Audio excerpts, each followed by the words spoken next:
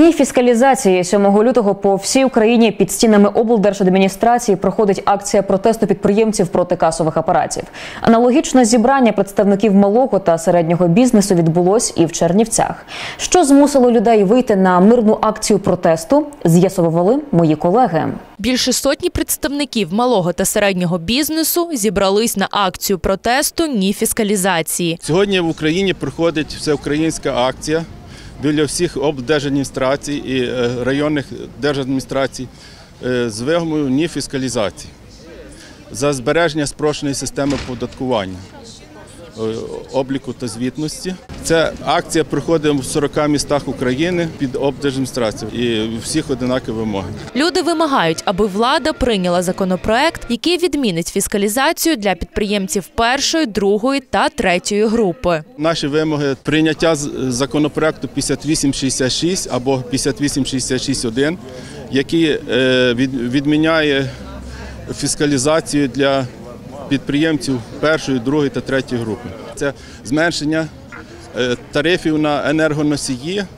для малого бізнесу, тому що ми знаємо, що дуже страдає зараз малий бізнес від цього Багато вже почали закриватися, особливо виробничники. За допомогою закону 5866 відміняється для малих для мікробізнесу, для першої, другої групи в основному. Підприємці вважають, що фіскалізація та касові апарати покликані знищити увесь малий та середній бізнес, адже тепер люди живуть із постійним страхом помилитись. Просто это получается лишняя еще нагрузка и лишний вот какой-то такой непонятный страх ошибиться. В данной ситуации, в экономической, которая сложилась на данный момент, где покупательная способность равна а, ну просто нулю, даже ниже нуля, мы платим податки, мы хотим, мы даже не знаем, на что мы надеемся и почему мы сохраняем свои рабочие места. И плюс к этому всему вот это еще нагрузка, которую, эм, э, э, которую обуславливает еще этими штрафами. То есть нас хотят загнать просто в постоянный страх. Все, я не понимаю вообще, зачем это нужно. знищують нас, наш середній маленький бізнес. За того і вийшли. І не на часі в державі така скрута велика.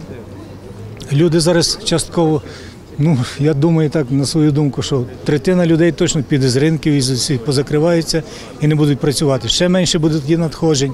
На що вони розраховують? От тому і підприємці вийшли, щоб хоч якось показати свій протест проти цього всього свавілля.